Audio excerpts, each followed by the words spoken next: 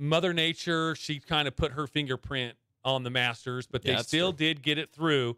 You know, we talked about Friday and those trees falling, Mm-hmm. you know, um, midday Friday or, or late Friday, whenever those those trees fell. You know, no spectators were hurt, thank goodness. But Mother Nature definitely put her thumbprint on this year's Masters. And Jon Rahm, dude, he he battled. You know, the very first hole Thursday morning.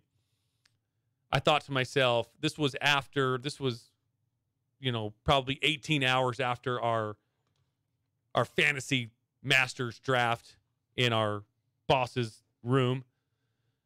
And I was like, Jon Rahm comes out, he four putts Yeah. the number one hole, bo- double bogeys it. And I'm like, oh my goodness, I'm glad I didn't pick Jon Rahm. Well, now I wish now I like, would wish have. I- Can I show you? I got to show you a funny video too um, about that. Let me see if I can get this pulled up here and Okay. and uh, and ready to go. Where he kind of talks about this a little bit. So, um, okay, yeah, here we go. Yeah, so this is Jon Rahm after the win, of course, Right. and he's he's talking about what happened before the Masters started, Right. And that four putt, Right. So uh, let's see what he has to say. Here we go. for those people who believe in, in jinxing other players, people, and whatever it may be, Thursday morning, when I was on my go- on getting on the golf cart to get to this putting green 10 minutes before my tee time, I saw a text from a good friend of mine, and I'm going to name him because he is a Super Bowl winning champion, Zach Ertz. Um, he he said the text. I'm gonna I'm gonna paraphrase here, but he said that first green looking like a walk in the park or something like that right now. Ten minutes before I four putt at the start the tournament. Well, So, that's that's one way that Thank happens, you, right? Zach. Don't ever do that again, please. yeah, it was uh it was and and boy did he bounce back, you know, just yeah, even if you even if you par that if you're Jon if you're Jon Rahm even if you par that hole and two putt it like you're supposed to do. I'm not Mhm. talking about getting a birdie and one putt, just a normal par. He would have won this competition by six strokes. He still won it by four, which is Which is tremendous. very good. Yes. And but if he doesn't four putt that, I mean, he runs away with this tournament. Yeah, it, it probably really wouldn't have been close. I mean, because even that last day, you know, when he was making that comeback, right?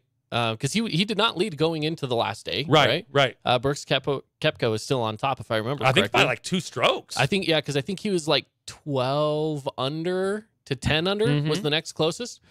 Um, so it wasn't like he was necessarily close at the time, but he just played such a good Sunday round in that final round. So yeah, you got to give credit where credit's due, and and he had a he had a great round. Um, that's his second major win. He's Yeah. won the U.S. Open. He's now won the Masters, so he's got two under his belt, and and uh, he's one of those that's probably deserving. I would I would say for of- sure. you know it, the there was a big storyline this week just because of uh, that Sam Bennett kid, Yeah, right? That came out of nowhere as an amateur and was in second place in the second day. Yeah. He was or in the last day he was at one point in second place. Now he had a few too many bogeys in that um, in that final round that pushed him back, but It was really the third round and the fourth Yeah, round. He shot a 76 on in well, which was supposed to be Saturday. He shot a 76 in the third round. yeah, Sunday morning, I guess you're right. It was that Sunday morning Yeah. that that But should man- have been the Saturday round. But man, he came out with two 68s hmm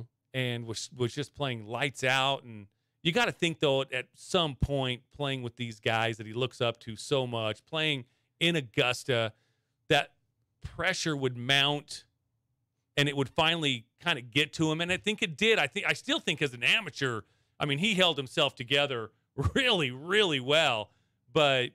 You kind of expect that to happen as an amateur. I thought Yeah. he did fantastic, yeah. though. And, pressure is one thing, and then I think another thing has to go along with, hey, um, how good are you at playing was it 72 holes of golf, right? I don't know. Let's ask Brooks Koepka. Yeah, he he, played a solid 54. Yeah, which is what LIV plays.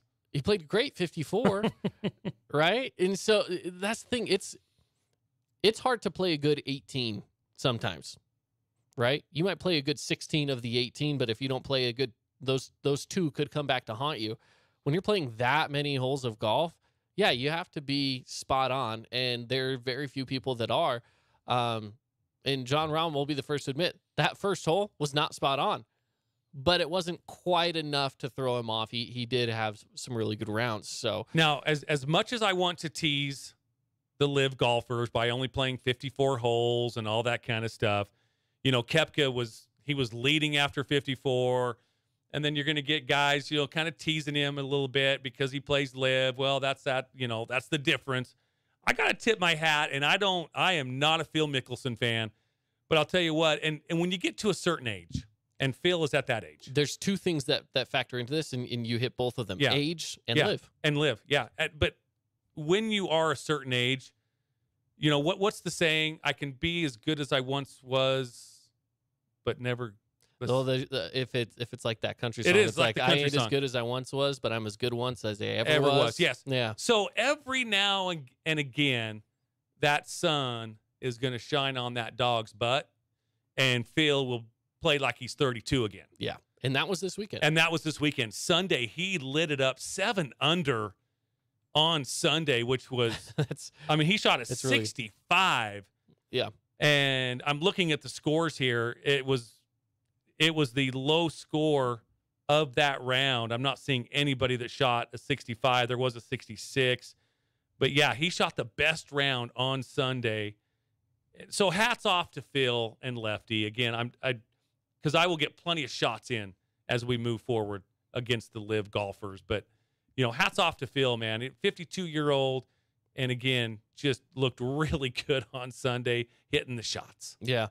Now there's something here with with the Masters, everything that went on. There's a storyline here with the Masters that uh, that I'm really excited to talk about, and if anything, I'm really excited to see in the next season of Full Swing because I Yeah. know they're gonna make this the twist on it look really dramatic. Yeah, and that is just the fact that there's a, a few LIV golfers that were in that top right. 10 or so through that last day and and and that's that's definitely a storyline that we we can't ignore right you're talking about phil you're talking about brooks uh, and you're talking about cam right Yeah, yeah, that, right. that were all in there as LIV golfers uh, towards the end um, and and the conversation maybe is hey are these guys still part of that level can they compete with the pga i mean there, there's a lot there but at the end of the day, you look at it and it's like, okay, no one's watching LIV golf though. Right. The fans are not invested in LIV golf. And that's what's going to happen. Can this sway that though? Can fans? I don't- Are fans going to watch the, the majors or the the Masters? and Okay. Be like, hey, I uh, those guys did really good. Maybe I should start watching LIV. I'm I'm a golf fan. Yeah. And watching Phil, watching Brooksy, watching Smith, watching DJ not make the cut, watching these other LIV golfers, watching Patrick Reed actually perform very well. You know, the most hated guy in golf.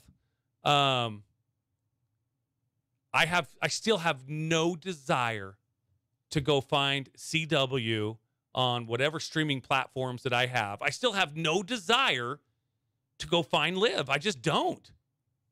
I mean, so I, again, there's more fanatics about golf than me. There, I mean, I'm, I think I'm, you know, kind of, I'm, I'm not just a casual fan. I mean, I do love golf. I love watching golf as well. I'll watch tournaments that aren't majors, but I still, I still don't have any desire to go find LIV on the CW. And, I- and that's that's going to be the shame of this is yeah, Phil and Brooksy and Patrick Reed they performed well, and you know what? Now we're not going to hear squat from them until the next major. We just won't. It's true. It's true. I, I had to look it up because I was curious. That I, I wanted to see what their schedule is like, and they do have a tournament coming up um, this this Mhm. weekend in Adelaide, Australia. And, and it I couldn't have told like, you that. It's like okay, you know. So here, so hey, I, I put a link on our notes, Kate. Yeah. See if you can't pull that up here, and I want to get your thoughts on this. Um, it's during the presentation um, where, and I think it starts at like seven seven minutes and ten seconds in, where he's the uh, I can't remember the guy's name that pretty much is the voice and everything of the Masters. No, not Jim Nantz. The uh, he's one of the master dudes. But anyways, he goes through and he thanks pretty much every single tour except and if you when you get that pulled up let me know and i want to Yeah, get your close. thoughts i want to get your thoughts on if i'm just reading into this or if or if there is you know something if there's something there like what do they think about the LIV tour let's go ahead and listen to this Gotcha. All right, let me uh let's get it pulled up too for our viewers on Yeah. on YouTube, and we'll let's get to it. Let's see what he says. ceremony. There are some special friends from around the world who are with us this week. I would like to acknowledge these organizations, and I would ask that you please hold your applause until I have recognized everyone. The USGA, the R&A, the PGA of America, the PGA Tour, the LPGA, the DP World Tour. I want to thank all of you for your help in making the Masters a success.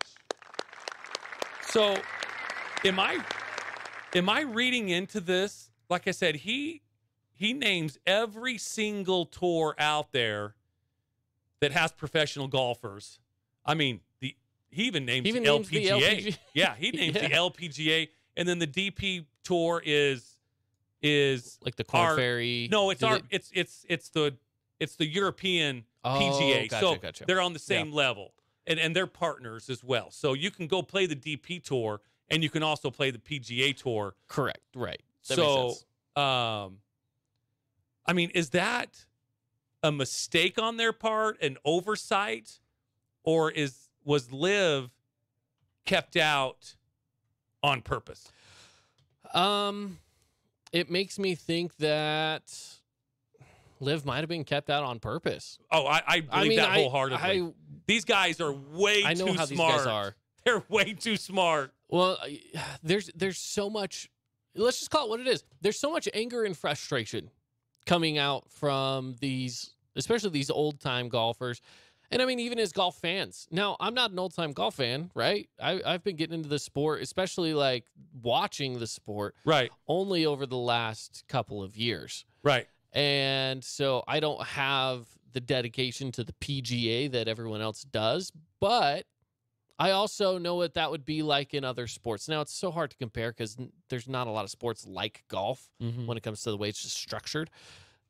But um, yeah, I, I look at this and, and I just I see it as hey, there's there's so much tradition in golf, and it's not that LIV is necessarily playing in a style that takes away that tradition, but they are financed from a country that has a lot of issues. Mm-hmm. Just- Yeah, just exactly. Put it plainly yes. and, and people will have issues with that and, Right. and so yeah you know I, I fully understand why they don't want to acknowledge it because they look at it as more of like a money grab than it Mhm. is a professional sport And and you know what? I, I respect the guys that have come out and said that. Like, um, gosh, I just saw, I just read a story the other day, and I for for whatever reason I can't remember the golfer who was who was saying he was a LIV golfer, PGA Tour, and then went to LIV, made the jump, and he was saying he goes to all these. I'm going to paraphrase. Paraphrase away. yeah. because there were a lot of he's like these golfers that left PGA Tour and went to LIV because they want to and for our radio audience I'm going to do air quotes here but our YouTube audience will be able to see it. To grow the game he goes that is BS and he actually said the you know. Oh yeah i'm sure. Um i'm sure he did. he goes it's it, we went for the money. And you know what? I can respect that a lot more than was somebody saying I don't know if it was Bryson or not. I can't remember for some reason. Again, I'm a And I'm, I feel I'm like- Phil Mickelson's Yeah. age. Sorry. fair hey I, I do feel like it was somebody it was a, it was a decent name though it was, a It well, was. it was a well known name that that that said, "No, I'm going for the money." Yeah. like they're paying me a lot of money to go. Of course, yeah, I'm gonna go. And you know, is it is it the kind of money you want to take? Well, you know what. Given the same option, would I turn it down? Probably not. Well, I will say Brooks Koepka was one of those guys that wasn't very uh, quiet about his reasons for going over. And it was basically that. He's just like, "Eh, it's a steady stream of income. Yeah. I want the steady stream of income because he hadn't been playing Right, well. right. Uh, and so why not make that jump? Now, the irony comes that he did play well actually at this last major, of course. Well, he says he's But- healthy and he's getting his game back, so we'll have to see. But here, but that's the problem. But what would it look like if he was on the PGA Tour? Yeah, eighty percent of the of the viewing audience won't know how he's progressing because they they won't take the time to go find the CW and watch these LIV tournaments. I'm not going to. especially when they're playing in in a, a lot of the times they're playing outside of the United States. So sometimes these tournaments are starting at weird times, especially if it's Australia. They're Mhm. probably playing these tournaments starting at what like nine thirty at night. It would be if it's Australia. Yeah. You know, and they're playing it until seven in the morning. Yeah. I'm not watching. I mean, Yeah. at least not live. I know it's a it's a strange deal, and and again, I know there's a lot of conversation PGA versus LIV, and and for all of our audience, I, I definitely lean towards PGA. I, I guess I'm an old school guy that way, but you know, it, it's going to be fun to watch. You know, moving forward in the next few majors and see see what happens. I know there were a lot of people rooting for Brooks Koepka, not because they wanted LIV Tour to win, and I think you were one of them. I was them. one, and I, you know, it's funny. I talked to someone in the office, But and they said just I wanted- wanted him to do well for the chaos. The chaos, yeah. I the just chaos. wanted the chaos. They want it, yes. So it'll be interesting watching the the majors going forward when the Open is here and the U.S. Open and all of that kind of stuff, and it, it, will be fun to watch for sure. It will be for sure. For I, sure. I still think Scheffler and Jon Rahm are the best, the two best players in the world. I don't even know if there's an argument to be made. I think those two are are just so skilled and they're playing at the top of their game right now. I know Scheffler, you know, didn't repeat, really never was in contention, but I still think Scheffler and Rahm are certainly certainly the best. yeah, I agree. They're Man, they're one playing and, They're one and two, if you ask me as well. Mhm.